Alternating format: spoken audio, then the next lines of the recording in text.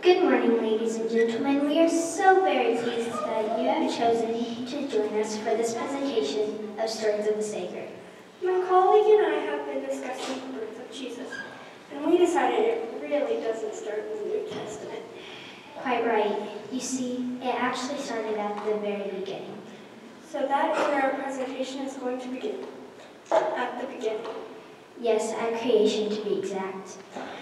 You may be wondering, what does the birth of Jesus have to do with the creation? In the beginning was the Word, and the Word was God, with God, and the Word was God. He was in the beginning with God. All things came into being by him, and apart from him nothing came into the beginning that has come into the beginning. In him was life, and life was the light of men. John 1, 1 through 4. And the Word became flesh and dwelt among us, and we behold his glory. Glory as one of the only begotten from the Father, full of grace and truth. John 1, 14.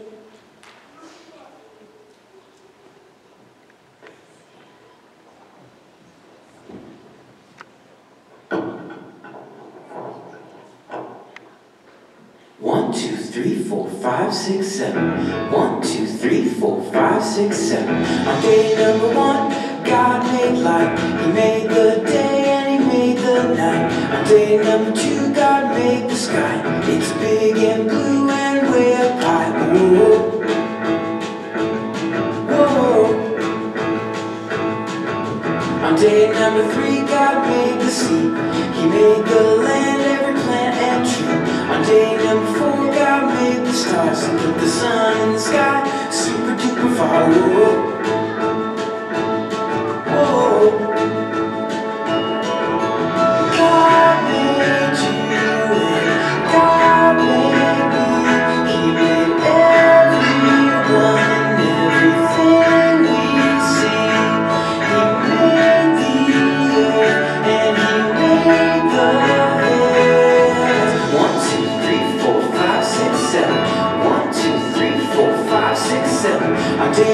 Five, I made birds and fish, dolphins and whales and things that go squish. On day number six, got me animals and bugs, foxes and cubs, all for us to hug. Whoa.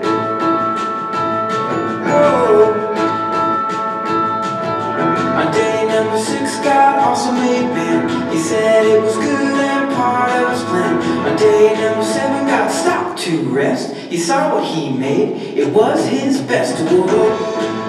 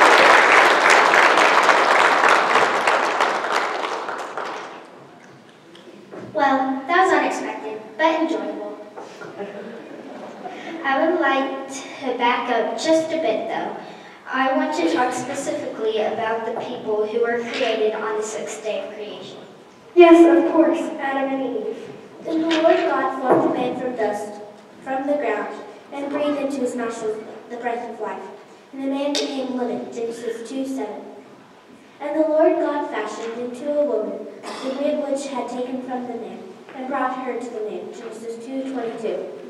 You may ask, why do we bring them up in Christmas presentations? Yes, why are we bringing them up? Well, it all started with them. They are the first story of the Savior.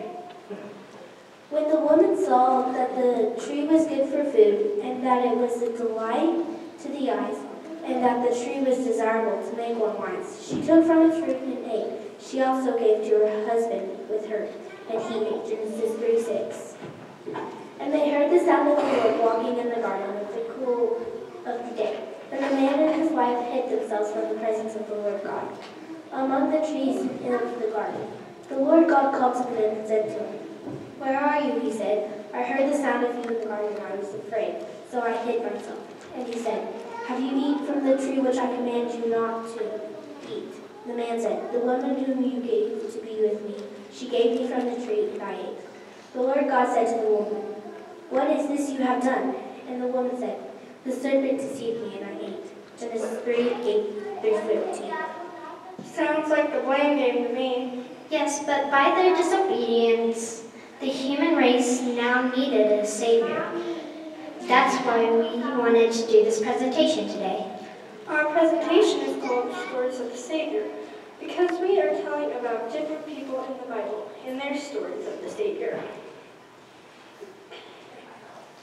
Exactly. I have this chart that can help us along the way. Fancy. I know. So who's next? Noah. Then the Lord saw that the wickedness of the man was great on earth, and that every intention of the thoughts of his heart was only evil countenance. And the Lord was sorry that he made the man on earth, and he was grieved in his heart. And the Lord said, I will blot out a man whom I've created from the face of the land, and then from the man to animals, to creeping things, and birds of the sky. For I am sorry that I have made them. But Noah found the favor in the eyes of the Lord. Genesis 6, 5 through 8.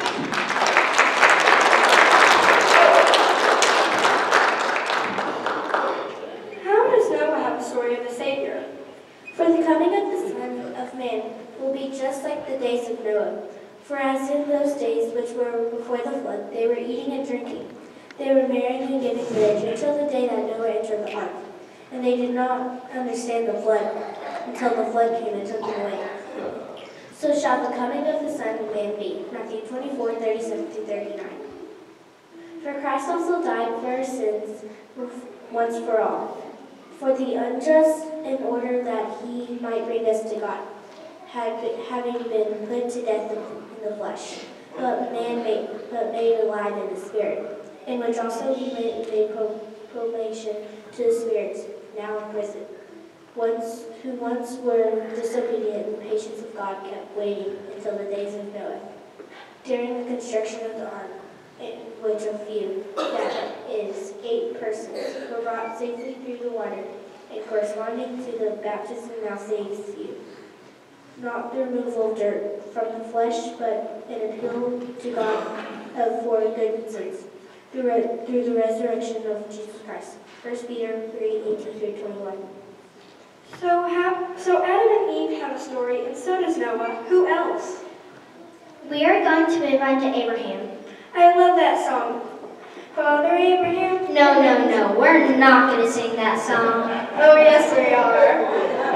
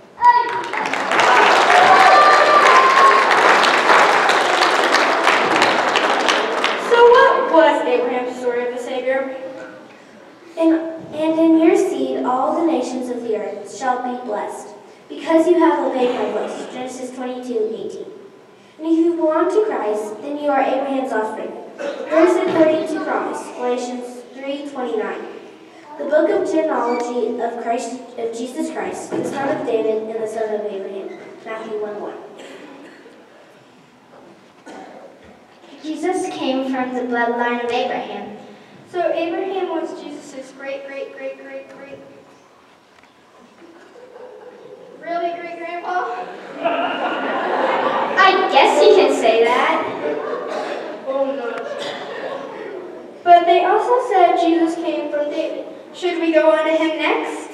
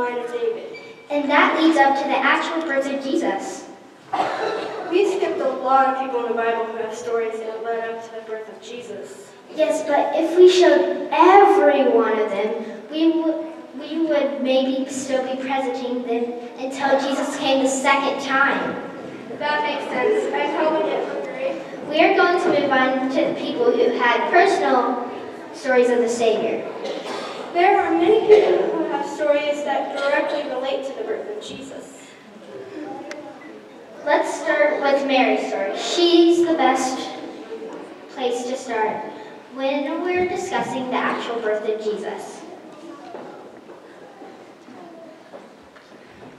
Her story was deeply personal. Now in the sixth month, the angel Gabriel was sent from God to the city Galilee, called Nazareth, to a virgin engaged to a man whose name was Joseph, of all the descendants of David, and the virgin's name was Mary. And coming to her, and coming in, and he said to her, Hail, favored one, the Lord is with you. But she was grievously troubled at this statement, and kept pondering what kind of solution this might be. Luke 1, 26 through 29. And the angel said to her, Do not be afraid, Mary, for I have found favor with God. And behold, you will conceive in your womb, and bear a son, and you shall name him Jesus. And he will be great, and will be called the Son of Most High. And the Lord God will give him the throne of his father David. And he will region over the house of Jacob forever, and his kingdom will have no end. Luke 1, 30 through 33. Mary's story starts with her being told that she had been chosen to be the mother of the Savior. That's truly an amazing story. This is where John's story started as well. John's story started before he was even born. But the angel said to him, Do not be afraid, Zacharias, for your petition has been heard, and your wife Elizabeth will you a son, and you will give him the name John. And you will have joy the gladness, and many people will rejoice at his birth. For he will be great in the sight of the Lord, and he will drink no wine or liquor. He will be filled with the Holy Spirit, and while yet in his mother's womb. And he will turn back many of the sons of Israel to the Lord God. Luke 1, 13 through 16. And it is he who will go as a forerunner before him, in the spirit of the power of Elijah, to turn to his hearts of the fathers back to the children, and, and the disobedient to the attitude of the righteousness, so as to make ready and be prepared, prepared for the Lord. Luke 1, 17.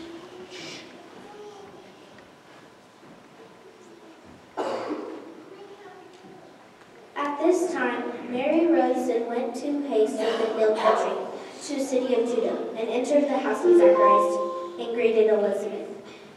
And it came about that when Elizabeth heard Mary greeting, the baby leaped in her womb, and Elizabeth was filled with the Holy Spirit. And she cried out to him with a loud voice and said, Blessed among women are you, and blessed the fruit of your womb. And how it has happened to me that the mother of my Lord should come to me. For behold, when the sound of your greeting, righteous, reached in my ears, the baby leaped in my womb from joy. Luke 1, 39 through 44. John's story of the Savior continues, but that will have to be for another presentation. Right you are. We are just talking about the stories of the Savior. And as they have to do with his birthday. Joseph's story fits in here as well. Joseph was questioning whether he should take Mary as his wife when an angel came to him in a dream and told him that it would be okay.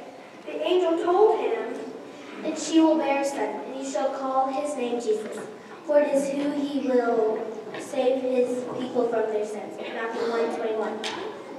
And Joseph arose from his sleep, and did as the angel of the Lord commanded. And he took her as his wife. Matthew 1, 24.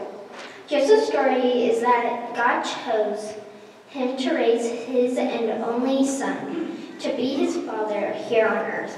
That's an incredible story. Can you imagine raising the Son of God as your very own?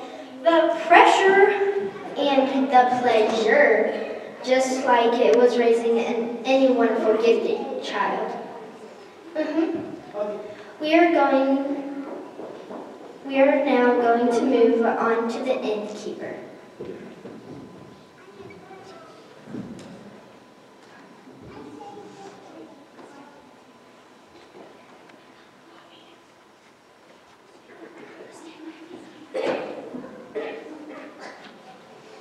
Now in those days, a decree went out from Caesar Augustus, Caesar Augustus that a census been taken of all the inhabited earth. This was first Caesar, while taken Gernus, was the governor of Syria. And everyone was on his way to register for the Caesars, each to his own city. Joseph also went up from Galilee, from the city of Nazareth to Judah, the city of David, which is called Bethlehem, because he was the house of the family of David, in order to register along with Mary, who was engaged to him and was with child. When they were there, the days were completed for her to give birth. And she gave birth to her firstborn, firstborn son, and wrapped him in cloths and laid him in a manger, because there was no room for the, them in the inn. Luke 2, 1 through 7. That didn't mention an innkeeper. It does say that Mary gave birth to Jesus and laid him in a manger. Do you know what the manger is? Sure, it's like a trough that animals eat out of. Where do you usually find troughs that animals eat out of? In barns, What's another name for barns? A stable. Someone has to own the stables, don't they? Yeah. That is who I'm calling the innkeeper. He was the owner of the place where Mary and Joseph stayed and where Jesus was born. Right. He was the story of the Savior. He didn't know that by telling Mary and Joseph that they could stay in his stable, that he was giving household to the Son of God. Wow, what a thought. Yes, he was able to provide a place to stay for a Savior, and he didn't even know it.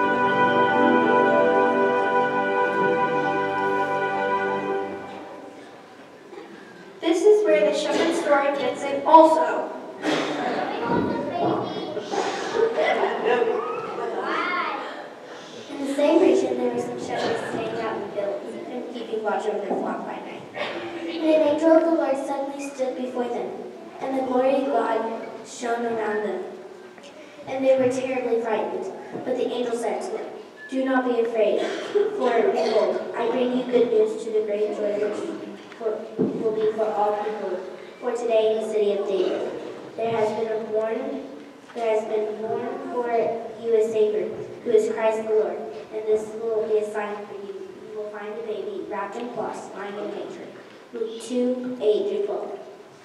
And suddenly there appeared with an angel multitude of the heavenly hosts, praising God, saying, Glory to God in the highest, and earth on peace among men who he is pleased. Luke 2, 13 through 14.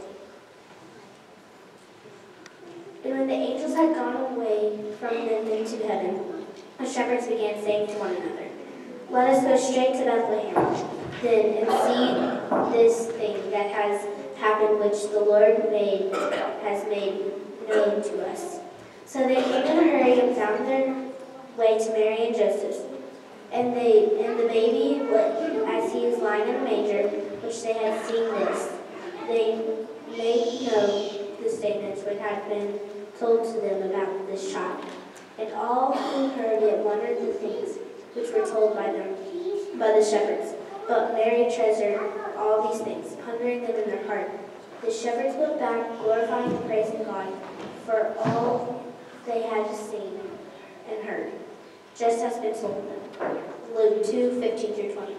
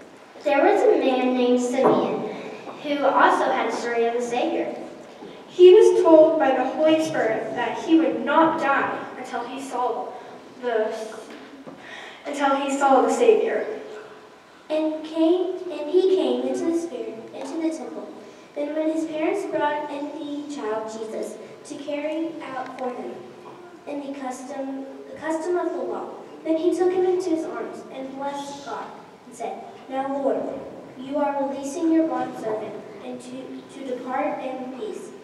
According to your word, for my eyes have seen your salvation, which you have prepared in the presence of all people, and the light of revelations to the gentleness and glory of your people, Israel.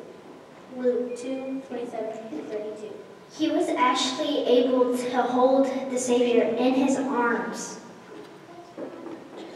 But let's not forget about Anna. Her story is right there with Simeon's. And there was prophecies.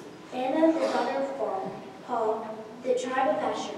She was advanced in years and had lived with her husband for seven years after her marriage. And then, as the window to the age of 84, she never left the temple, serving night and day with fasting and prayers. At that very moment, she came up and began giving thanks to God, and continued to speak of him to all those who were looking for the redemption of, of Jerusalem. Luke 2, 36 38. So that concludes today's presentation. Of course, you know that this morning's presentation is only the beginning of the stories. This is only the beginning of the stories of the Savior. There are so many people who have the stories of the Savior. What's your story?